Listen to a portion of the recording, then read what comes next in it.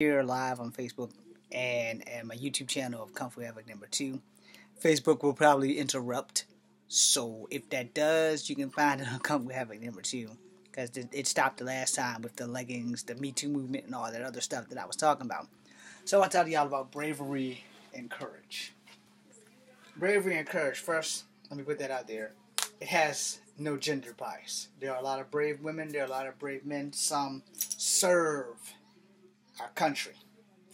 And in light of all the things that's been going on with the head ass hat in charge, you know, we have to understand that sometimes the smallest bit of bravery or the smallest bit of courage can have the biggest impact or the biggest explosion of things, you know. So, one, the coward didn't mowed over people in Toronto, hopefully he's going to get what he's got coming to him. Because there ain't nothing brave about running over women and children in a van because of some shit you've seen or some asshole inspired you to do something stupid. As we in Charlottesville know, lots of people who were at the rally was inspired by some asshole to come and do something stupid.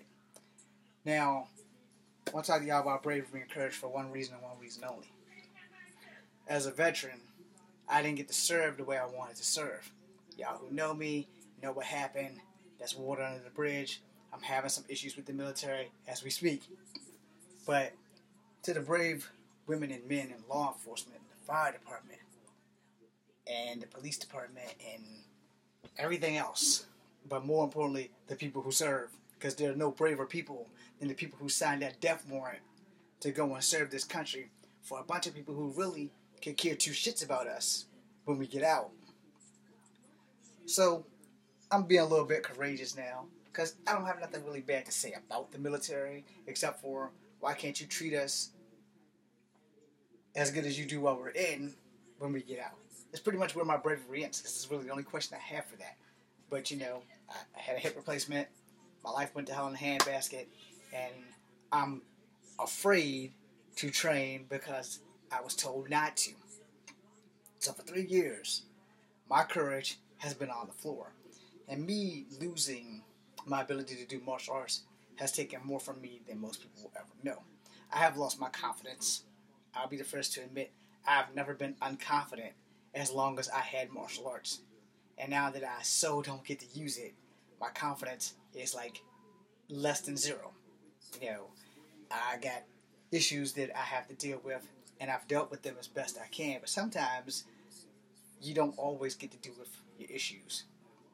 I lost my father three years ago. The bravest thing that I've ever had to do was try to remember that he's never going to call me back and that his birthday is in three days. Yeah, his birthday is on the last day of the month. So I'm going to make a video about that. It won't be live, but for my two brothers and myself, I know I miss my father. Hopefully they see this and it reaches out to them. You know, we don't really get to talk like talking about it. They're busy, they have kids. I'm not that busy, but I'm back in school, so I don't have a lot of time to deal with a lot of family stuff. Bravery, by definition, is basically one who puts others before himself and is willing to sacrifice himself or herself, no matter the cost, to get the job done. Courage is basically the same thing. Courage is also one of your warrior ethos if you're in the army. I don't know about the Navy, the Marines, or the Air Force, but the Warrior Ethos, the card that never leaves my pocket, it's in this wallet. I'm not gonna read it because you never know who's watching. Terrorists could be watching, they can infiltrate us, and then we're all fucked. And the first thing they'll say is, "Well, James gave them the Warrior Ethos on his page." Then I'll have all kinds of shit happening to me. Pass. We all find bravery and courage when it's needed the most or when we stumble into something that we don't have a lot of say in. I was brave enough to put a video up yesterday about how the Me Too movement has affected innocent men. I'm courageous enough to say, you know, I like women. I really like women. I am definitely afraid to approach them, to ask for dates, to tell them how good they look because of the Me Too movement.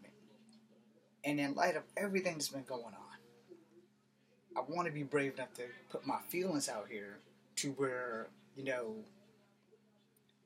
I never ever thought that law enforcement people would ever do really bad stuff until they caught the Golden State killer, strangler, rapist, whatever the hell he is, who happened to be an ex member of law enforcement. Which is why I always say every city and every state needs to have internal affairs, and every cop needs to wear body cam, uh, other than the undercover ones, you know, because TV police and real police ain't a damn thing the same about them.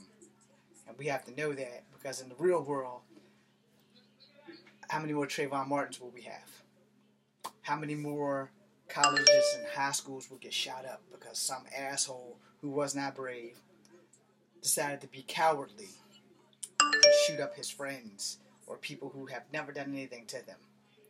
We as people in America need to understand two things. One, we're all in this together.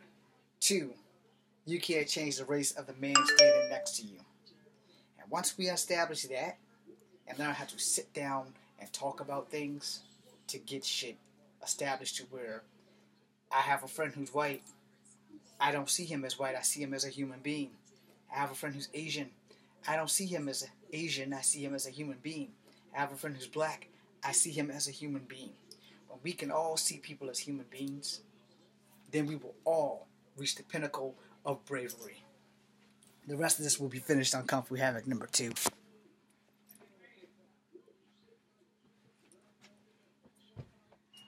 We have a chance in this world to make things right amongst human beings. We have a chance to straighten things out, to take care of ourselves and each other. We choose not to do that because it's too much like the right damn thing to do.